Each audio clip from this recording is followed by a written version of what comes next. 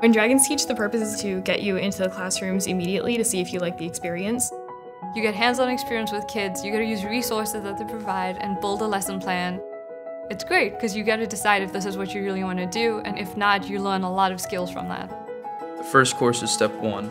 That is sort of building a foundation of just general education practices. And also, there's a field study portion to it, so students would go out into elementary schools and teach two lessons. Step two is the second class that you take. You're in a middle school level. It's a little different. The kids are a little bit more grown up. They have more ability to say what they mean. The kids are as big as me now. And I think there's more teaching theory involved in the class. The master teachers, all the Drexel professors, They're very accessible, and I just feel like they really want you to do well and to learn what you're doing and to really enjoy teaching. They're great people, and they know a lot about the whole process of education. In step one and step two, you're paired with a mentor teacher, which is a teacher from a Philadelphia school district. For example, my step one teacher was Dr. Joe in Powell School, and he was great. You got to go observe his classroom, and then you would also teach that same set of students.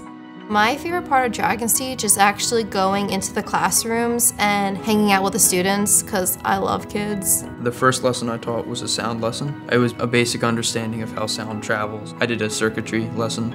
I did you make your own silly putty. That was the chemistry lesson I did. That was fun. It was a lot of fun. Getting kids interested younger is really important for getting them interested in science in general. If they're more interested, they learn more. There's a lot of benefits to joining DragonsTeach besides if you're just interested in education. When you make your lessons for DragonsTeach, you have to create these probing questions and anticipate responses from the students.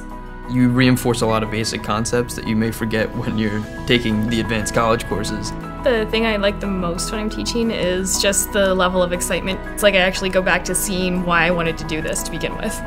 Working with children has helped me in my co-op because I was able to work with different personalities and different learning levels and then check if people are understanding what you're trying to convey. So as of right now, I know I want to be a full-time engineer, but somewhere down the line, I might want the option to be a teacher.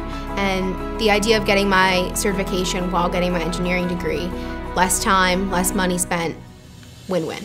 So if you're considering DragonsTeach, I would definitely say take step one. It's one and a half credits. It's wonderful. You'll get in the classroom in your first class. You'll get to see the impact kids will make on you. Whether you want to go to graduate school or go straight to work, I think having those experiences is unlike any other.